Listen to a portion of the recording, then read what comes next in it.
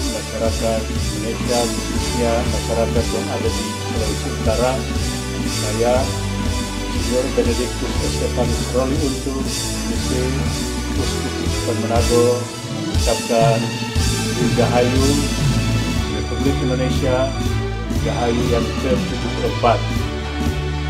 Saya mengajak kita sekalian bersama-sama seluruh lapisan masyarakat untuk membangun negara kita, memajukan kesejahteraan. Kita bersama dengan pemerintah dalam memajukan negara kita dengan memberdayakan sumber daya manusia. Juga mari kita menghindari berita-berita yang hoax, berita-berita yang tidak benar, agar dengan demikian kita dapat mencapai tujuan cita-cita dari negara Republik Indonesia. Sekali lagi saya ucapkan Dirgahayu Republik Indonesia yang ke-74.